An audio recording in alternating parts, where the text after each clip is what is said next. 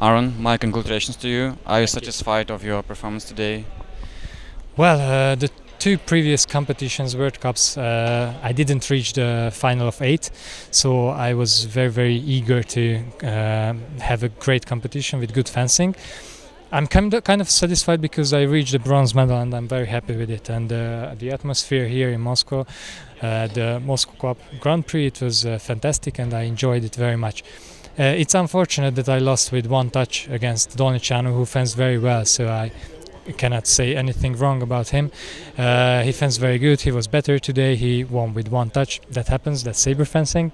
Next time I try to be even better and uh, reach for the even better result. It was a very great match against Tiberiu. Um, uh, can you remember any other uh, difficult fights today? Um, yes. Um, first of all, my first match with uh, Zhu Yingmin from China, it was very, very hard. Uh, I lost against him in Padua, so uh, I wasn't sure what to do against him. But it was a good match. I won 15 10.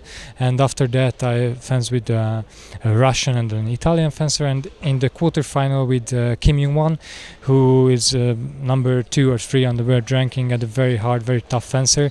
We fenced a tough match, and I got very tired after that. But uh, I was uh, confident about what to do, and uh, I won that match, so I'm happy about it. What's your plans for a near future?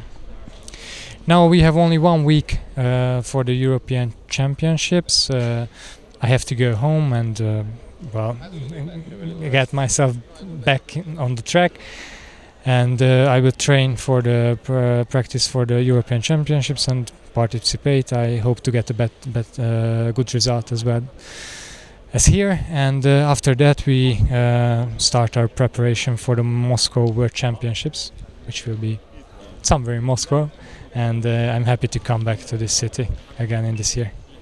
Thank you very much. I wish you good luck. Okay.